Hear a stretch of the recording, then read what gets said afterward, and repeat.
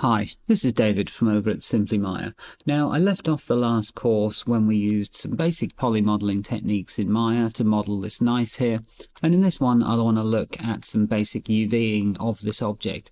Now, in case you skipped through the last tutorial, you're going to want to delete the history of this guy, so edit, delete by type, history, and you're going to want to freeze its transformations which I've already done but if you haven't you can go up to modify and freeze transforms. If you watched our tutorial on creating a custom shelf these are also here for you. Now if you don't do that beforehand it can cause some slight weirdness in the UV editor especially with Maya's unfold function so make sure you get that step. Then we're going to come up here we're going to change our workspace to UV editing and we're going to take a look at what Maya has given us by default. And yep, these are not equidistant, equally spaced squares. So this default UV that we've had on here, we've obviously moved the UVs around along with the vertex and everything else, so it's become uh, unworkable basically. So in order for us to start from scratch, I'm just going to completely delete the UV off this. So delete UV, and then we're going to need to assign some form of UV. Now, we modeled this from a plane, from a top-down view, so I'm going to use a planular UV map to start with. So I'm going to come to UV and go for best plane. Now, you have to have the object selected for that, of course. Best plane, select a face that represents the plane we worked on, in this case, the top and I'm going to hit OK and you should see or enter in this case I'll turn this textured view off. You should see that that's just created a UV map that's the top of this object. Now if you turn on the texture view it's going to look pretty good. In fact it's going to look pretty flat indeed. And you might go hurrah you are done. But if you watched our principles of UV mapping you will know that we only have one um, angle of this object represented. So if I was to take this into Photoshop now and draw on it or into Substance or Mari, uh, everything I painted on this side would appear on this side too. Now that can actually be advantageous if you're trying to save space in your UV maps and you want to paint a wood grain texture and it's the same on both sides, Hmm, that's a lot of the time that can be okay, especially if you're working with a restricted UV set. Now, it's not good though because if we look at the sides, you'll just see straight lines because there's no representation of the sides of the object on this UV. So we do need to do a bit of work here. I would love to say that's it. Good night. Thank you very much. Um, but unfortunately, we can't. So when it comes to UV mapping, there's several ways to lay out a UV depending on what you're going to do with it. Now I'm going to lay mine out for ease of painting, which means every time I would be painting a different material, I'm going to make that its own UV shell so it's easy for me to paint. So for instance, where this wood hits this handle, or it could be black plastic if you're doing a sort of a tactical knife, I guess I'm going to make mine out of wood but where it meets this crossguard here, which might be brass or stainless steel or whatever, and where it meets the hilt, these are different materials, and this makes it an excellent place to cut a seam. So I'm going to cut one seam here and one around here.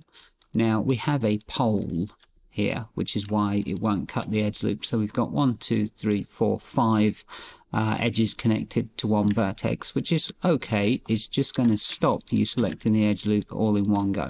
So I'm going to select the edge loop around there and I've selected the one around here. I'm going to go under my UV tools, under cut and sew.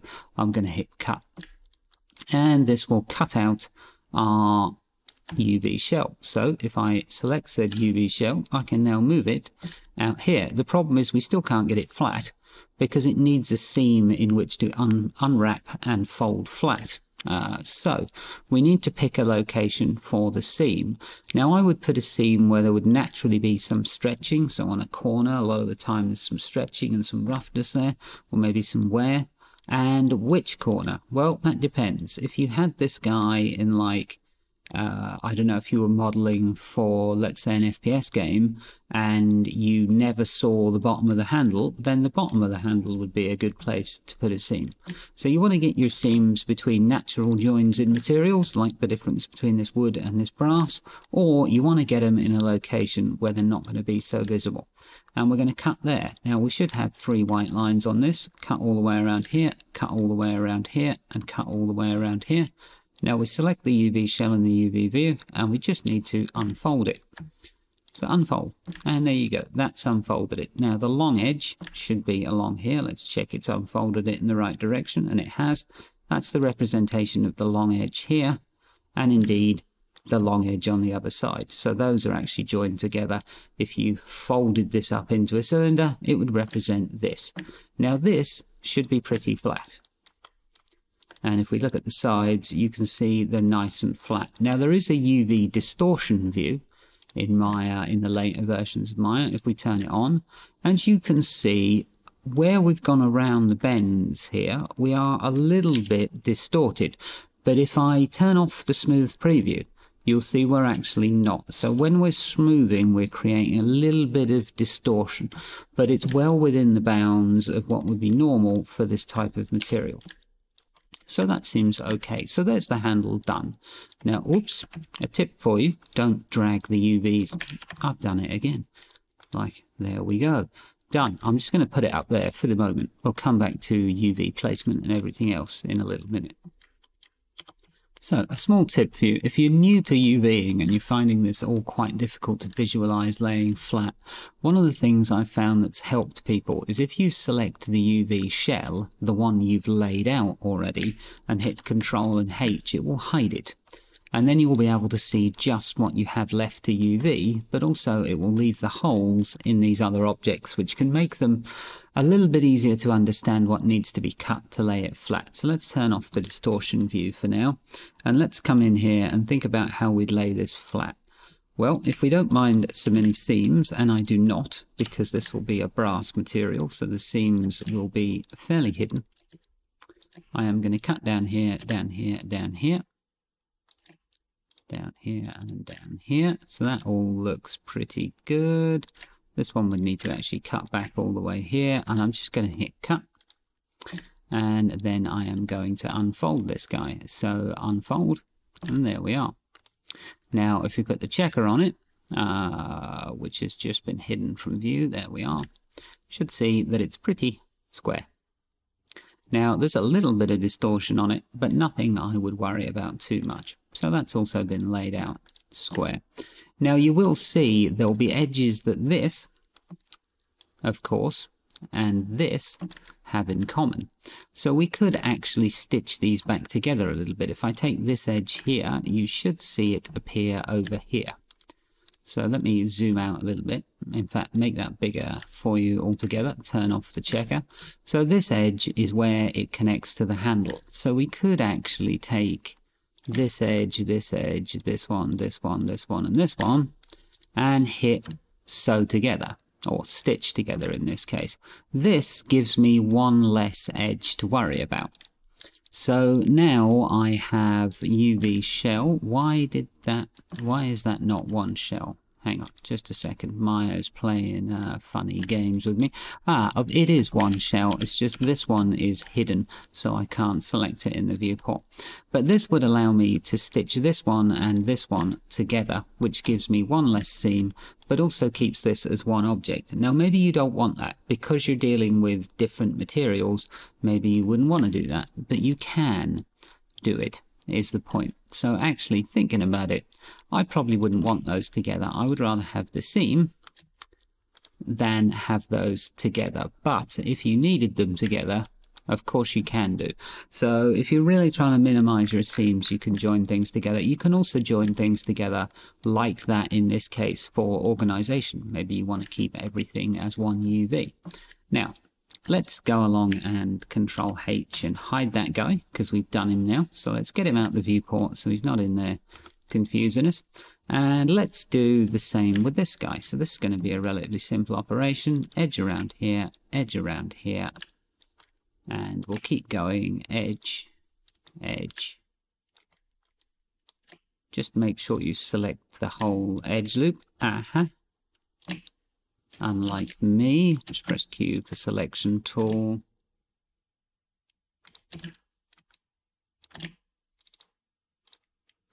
Maya's being a bit picky with its edge selection, so nothing new for Maya 2020 there. And that's gone, the whole edge loop. Let's go to cut, and now we should be able to go to um, let's see, UV, UV shell, of course, and zoom in on that. And we won't be able to unlay it, I won't be able to unfold it yet because it will still be attached. So we'll need to also cut here and here. And yeah, what is the best way to unfold this guy? Probably going to do it along here along here, along here. The UVing is always a battle between the number of seams you have and the amount of stretching and pinching you have. It's always that battle. There is no way to get it with no stretching and uh, no seams or, you know, it's just not possible. So you're going to have to come in and make the right determination for you. I'm going to go to UV shell and I'm going to unfold that and there you go. It's nice and unfolded. Let's just move it up here. The bit that you see, the hole that you see here is correspondent to the hole that you would see here. So if I throw on a checker texture, just to check it, you'll see that it's square. And they're in diamonds at the moment, but they're still pretty square. Okay, and if you want to get a look at smaller squares, of course, you can scale that up in this view. So you can see there's some slight distortion. And again, you're going to have to either cut more seams for that, unfold it, relax it, you know. But this for me is fine. I'm not going for a absolutely perfect UV with this. Uh, it's not necessary in this case. So that's square enough for me. That will hold the texture well enough. So I'm going to come in, Control H and hide this, and this leaves us with one part, which is the blade. So let's think about this. So the back of the blade is straight, so it can remain connected to each other. So I am going to just chop it around here, and I'm going to turn this view off so we can have a better look.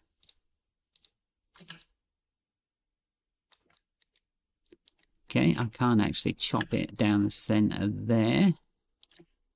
So I'm going to have to get this teeny edge and this one. And then we're going to chop all the way around the blade to the end. And let me get in there, find out what's going on. That one will be fine, I think. And here, and cut and UV, UV shell, and unfold. And that should give us both halves of our knife there. So this would be the knife blade. This is the hilt and we can actually select the object now we've UV'd everything and push shift H and bring it all back. Now we have to figure out where we want to organize it. Now all of these white lines are seams. So again, depending on your use case, um, you might want your seams in different locations. There are many ways, as they say, to skin this particular cat. So let's get everything the same size for a start. Let's select all four UV shells and go to, where do we want? Arrange and layout and just hit layout. Okay, and that will make everything a similar scale. So if we put the checker on, you can see that all those squares are nice and the same scale. Let's smooth it and see if that uh, causes us any issues. Uh, certainly nothing that I can't live with. So that's realistically a, a, basic UV for this type of object. You can go ahead and do a texture for this thing now. Now, how we've got our UV laid out. Um, I'm not particularly happy with the layout of this. We can change it. Now you'll see here we're in a UV space called U1, V1 or 1001. Now this is a UDIM, a UV patch, a UV tile, call it what you will. Each one of these can hold a texture. So the greater the scaling of these is, these uh, shells, the more you maximize the area for this, the more texture you can paint. So for instance, if we say this is a 4K image, 4K by 4K, and you have half of it empty, you only have 2K's worth of pixels. Now, long gone are the days when we would, you know, struggle to fill completely this box to maximize our texture space. And this is because we have UDIMs now. We have texture programs capable of painting multiple boxes or multiple UD, UDIMs at the same time. So what I would like to do is take all my metallic objects and throw them in the next UDIM over. So U2V1 or 1002. Now the 1001 is uh, a 1002 is Mari notation I believe, but it really doesn't matter. All you need to know is you can utilize these boxes. So from a layout perspective and an ease of painting perspective, I would have uh, sort of all my metallic textures in one maybe. And I'm going to scale these to make use of the appropriate space. So this one would be in here and this one would be in here. Okay. And again, I'm going to scale both of these to make use of the available space. So if you like, the more space I take up in here, the higher resolution I can paint my texture here. Now, of course, if you wanted your stainless steel in this one, your brass in this one, your wood in this one, you could do that too. Uh, for me, however, if I do 2K texture maps on this, this will give me, you know, plenty of space to paint. And you can, you're not limited to 2K. You could have, you know, 8K even if you wanted to.